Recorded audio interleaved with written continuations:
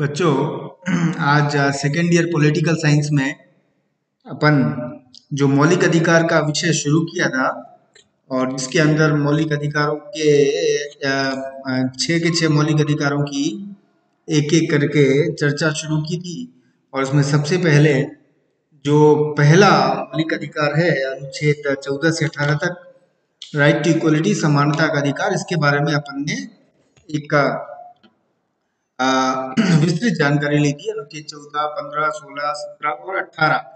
इसके बारे में और ये भी देखा था कि किस प्रकार ये जो समानता के अधिकार का मूल उद्देश्य है भेदभाव रहित समाज की स्थापना और सभी प्रकार की असमानताओं का अंत करना आ, उसकी स्थापना में इसकी कितनी महती भूमिका है।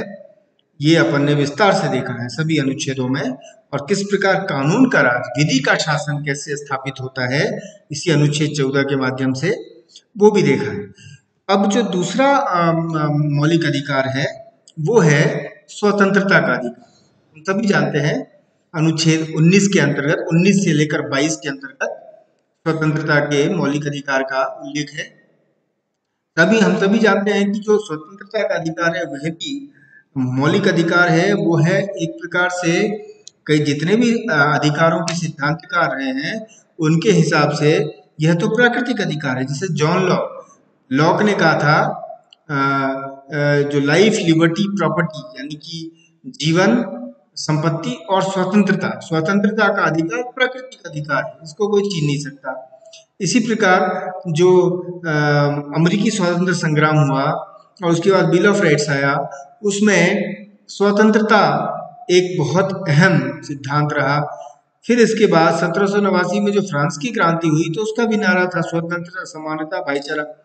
तो स्वतंत्रता का सिद्धांत जो है वो आधुनिक राजनीतिक युग में, आधुनिक राजनीतिक सिद्धांत में और लोकतंत्र की दृष्टि से बहुत अहम है।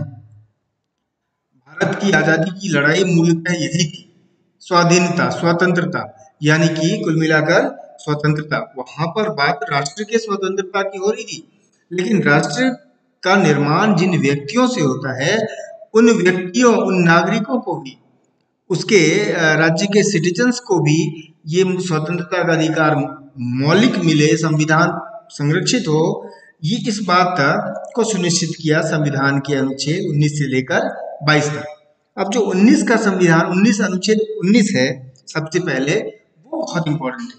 देखिए, उन्नीस अनुच्छेद 19 के अंतर्गत शुरू में छह सात प्रकार के मौलिक अधिकार थे। जो संपत्ति का खंड हटाया चौवालीसवें संशोधन के द्वारा, उसके बाद से जो है इसमें अब छह, उन्नीस क से लेकर छ तक, ये छह प्रकार के की स्वतंत्रताओं का उल्लेख। और जो सबसे पहला है, वो तो खैर बहुत ही इंपॉर्टेंट है जो कुल मिलाकर विचार अभिव्यक्ति की स्वतंत्रता, जिसके अंदर, जिसके कारण से लोकतंत्र कायम है इसी विचार अभिव्यक्ति की स्वतंत्रता के कारण आज प्रेस मीडिया की आज़ादी भी है। भारतीय संविधान में प्रेस मीडिया की आज़ादी की स्वतंत्रता का अलग से कोई प्रावधान नहीं है, लेकिन यह अनुच्छेद 19 का के तहत अंतर्निहित, विचार अभिव्यक्ति की स्वतंत्रता के तहत। और जैसा कि हम सभी जानते हैं विचार अभिव्यक्ति अहम है लोकतंत्र के लिए, और इसमें भारत के सभी नागरिकों को विचार व्यक्त करने, भाषण देने, है ना का अधिकार है, और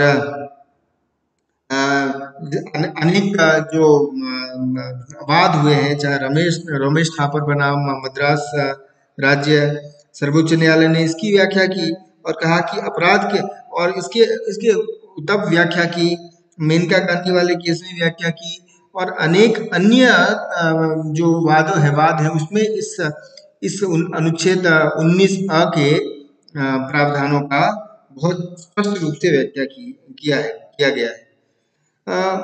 इसके अंदर ही यह बात भी है कि देखिए आपको बोलने की आज़ादी है चाहे वो अनुच्छेद अ हो या अनुच्छेद उन्नीस के अंतर्गत आने वाले अन्य स्वतंत्रता के अधिकार हो, इन सब पर उचित, समुचित उपयुक्त। और जैसा भी राज्य की सुरक्षा और राज्य के अन्य कानून व्यवस्था की दृष्टि से उचित समझाता है सरकार इसके ऊपर प्रतिबंध लगा सकती है। और सर्वोच्च न्यायालय ने भी कहा कि उचित युक्ति युक्त प्रतिबंध युक्ति युक्त रेस्ट्रिक्शन जो है ना, वो तो लगाया जा सकता है। तो ये असीमित नहीं है। स्वतंत्रता का अधिकार, ये तो कुछ ऐसे ही है, जैसे कि हम कहते हैं कि स्वतंत्रता की बात जो है, वहीं तक जहाँ किसी व्यक्ति, किसी नागरिक की स्वतंत्रता वहीं तक जहाँ दूसरे की स्वतंत्रता शुरू हो जाती है। तो ये असीमित नहीं मानी जा सकती। अगर नियम है बच्चों की, हम, हमारी स्वतंत्रता है कि हम सड़क पर चलें, सार्वजनिक सड़क पर चलें, लेकिन उसके ऊपर उपयुक्त प्रतिबंध ये है कि हम सार्वजनिक सड़क पर अपने ट्रैफ़िक यातायात के नियमों की पालना करते हुए हम बाई तरफ़ चलें तो ये जो है ना, इस तरह के युक्त युक्त प्रतिबंधों के कारण सामान्य हित में, जनहित में एक कानून व्यवस्था की दृष्टि से इसके ऊपर प्रतिबंध नहीं लगाया जाता है। लेकिन अनुच्छेद उन्नीस, अ जो है, वो काफ़ी अहम है और इसलिए क्योंकि इसमें विचार अभिव्यक्ति की स्वतंत्रता का अधिकार है और इसी के अंतर्गत जो 2004 में कहते हैं, इसी इसी इसी अनुच्छेद 19 का और भी ज़्यादा विस्तार हुआ जब 2004 में सूचना का अधिकार विधेयक जो है वो पारित हुआ। और सूचना का अधिकार 2005 में पारित हुआ 2004 में पेश हुआ 2005 में पारित हुआ। और विश्व में पचपनवा देश था, जहाँ जनता ने सूचना का, जनता ने सूचना का अधिकार प्राप्त किया सरकार से। तो इस प्रकार इस विचार अभिव्यक्ति की स्वतंत्रता, क्योंकि विचार अभिव्यक्ति के अंदर बहुत सारी सूचनाएँ भी आप सरकार से सरकार की कार्यवाही के बारे में ले सकते हैं और तदनुसार अपने विचार भी व्यक्त कर सकते हैं तो ये अधिकार काफ़ी अहम है। अब जो दूसरा अधिकार है, अनुच्छेद उन्नीस अ के तहत, वो है शांतिपूर्ण सम्मेलन की स्वतंत्रता। यानी कि इसमें यह है कि बिना शस्त्र के आप शांतिपूर्ण सम्मेलन कर सकते हैं, शामिल हो सकते हैं, आयोजित कर सकते हैं। और इसलिए हम देखते हैं कि सभाएँ होती हैं, सम्मेलन होते हैं, है ना? विभिन्न संगठनों के द्वारा, नागरिकों के द्वारा, नागरिक के समूहों के द्वारा, लेकिन इसके ऊपर भी युक्त युक्त प्रतिबंध लगाया जा सकता है। अस्त्र शस्त्र रहित हो, हिंसा रहित हो हालाँकि बहुत सारे लोग कहते हैं कि हड़ताल हड़ताल करना जो मौलिक अधिकार है, और क्योंकि सम्मेलन भी, हड़ताल भी सम्मेलन की भांति है तो वो भी मौलिक अधिकार है। लेकिन आ, 2003 में आ, एक न्यायालय का जो मद्रास के आ, जो तमिलनाडु में एक हड़ताल हुई थी उसके संबंध में सर्वोच्च न्यायालय ने आदेश दिया कि कुल मिलाकर हड़ताल करना जो है वो मौलिक अधिकारों में शामिल नहीं है। इसी तरह की कई व्याख्या आगे भी होती रही है। तीसरा जो अनुच्छेद उन्नीस के अंतर्गत अधिकार है, वो है समुदाय और संगठन संघ का निर्माण करना, यानी कि अपने शांतिपूर्ण उद्देश्यों की प्राप्ति के लिए नागरिक किसी भी प्रकार के समुदाय, संगठन, संघ का निर्माण कर सकते हैं, उसकी स्वतंत्रता है है ना? लेकिन इसमें भी युक्त युक्त प्रतिबंध लग सकता है। फिर चौथा जो है, वो है भारत के संपूर्ण सीमा सीमा क्षेत्र में निर्बाध, अबाध रूप से भ्रमण करने की स्वतंत्रता। है ना? भ्रमण करने की स्वतंत्रता, यानी कि यह भी मौलिक अधिकार है, हालाँकि इसके तहत इसको भी अनेक प्रकार के संविधान प्रावधानों के तहत युक्त रूप से प्रतिबंधित किया जाता रहा है। जैसे पहले जम्मू कश्मीर था, धारा तीन सौ सत्तर के हटाने से पहले, धारा तीन सौ सत्तर हट के आपको करिए पाबंदी दी रही कई उत्तर पूर्व के राज्यों में, कई जैसे अरुणाचल में जो अधिसूचित क्षेत्र है, वहाँ पर अभी भी कुछ प्रकार के प्रतिबंध सुरक्षा की दृष्टि से लगाए जाते हैं। लेकिन निर्बाध रूप से पूरे भारतवर्ष के सीमा क्षेत्र में भ्रमण करने का अधिकार, मौलिक अधिकार है। फिर इसके बाद जो पांचवा अधिकार है, वो है भारत के सीमा क्षेत्र में कहीं भी निवास करने की स्वतंत्रता, कहीं भी इच्छा अनुसार स्थायी या अस्थायी रूप से निवास करने की स्वतंत्रता।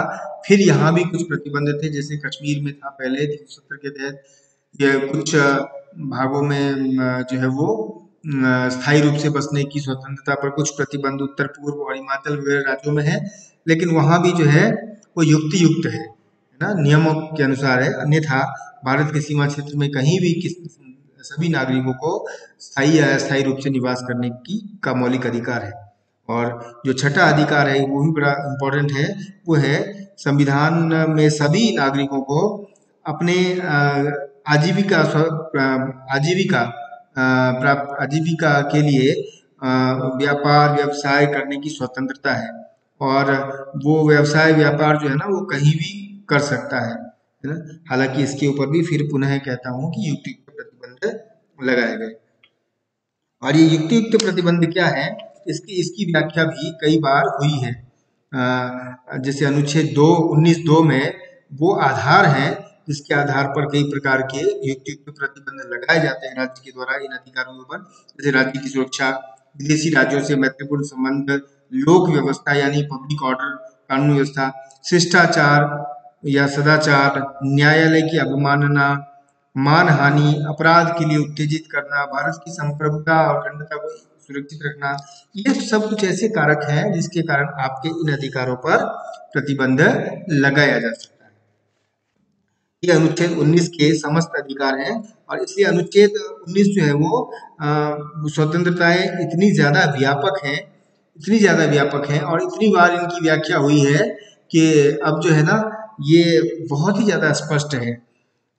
और इसका उपयोग भी सर्वाधिक होता है क्योंकि जब विपक्ष हो जिस देश में, जिस देश में लोकतंत्र हो, विपक्ष हो, मीडिया हो, है ना तो वहाँ पर ये ये सारे अधिकार उन्नीस अ का बड़ा महत्व हो जाता है और फिर नागरिकों को एक राष्ट्रीय एकता अखंडता की दृष्टि से पूरे देश में अनेक प्रकार के भ्रमण करने, निवास करने, आजीविका कमाने इत्यादि की स्वतंत्रता दी गई है। तो यह राष्ट्रीय एकता की दृष्टि से बहुत इंपॉर्टेंट है। तो अनुच्छेद उन्नीस जो है, वो अपने आप में बहुत बड़ा अनुच्छेद है।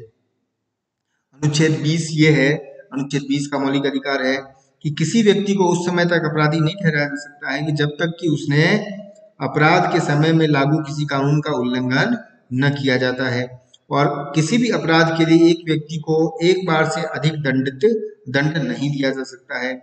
और किसी अपराध के लिए अभियुक्त को अभियुक्त को स्वयं अपने विरुद्ध गवाही देने के लिए बाध्य नहीं किया जा सकता। ये कुल मिलाकर अपराध के लिए दोष दोष सिद्धि के विषय में संरक्षण प्रदान किए गए हैं, है ना? ये ये भी इम्पोर्टेंट इसलिए है क्योंकि कुल मिलाकर जो क्रिमिनल जस्टिस सिस्टम है, उसके अंदर न्याय की गारंटी हो और न्याय में किसी भेदभाव की गुंजाइश नहीं रहे, इसलिए ये प्रावधान है। यानी कि कानून रेट्रो रेट्रोस्पेक्टिव इफ़ेक्ट से लागू नहीं हो सकते। यानी आज एक कानून बना और साल भर पहले वो कानून में अपराध नहीं था। उस समय किसी व्यक्ति ने अगर उस कृत्य को किया हो उसको अपराधी नहीं माना जाएगा। आज की तारीख के बाद यदि किसी व्यक्ति ने उस कृत्य को किया तो अपराधी माना जाएगा। तो कानून पीछे की तारीख से लागू नहीं होगा। किसी व्यक्ति को स्वयं के विरुद्ध गवाही देने के लिए बाध्य नहीं किया जाएगा और किसी व्यक्ति को, किसी अभियुक्त, किसी भी अभियुक्त अभियुक्त को एक ही अपराध के लिए एक बार से अधिक दंडित नहीं किया जाएगा। ये अनुच्छेद बीस के अंदर अपराध के लिए दोष सिद्धि के विरुद्ध में संरक्षण है। अगले व्याख्यान में मैं अनुच्छेद इक्कीस पे आऊँगा। क्योंकि अनुच्छेद इक्कीस बहुत बहुत व्यापक है। कहते हैं कि अनुच्छेद इक्कीस अब तक का सबसे व्यापक अनुच्छेद अधिकार, मौलिक अधिकार बन गया है। तो उसकी चर्चा करेंगे।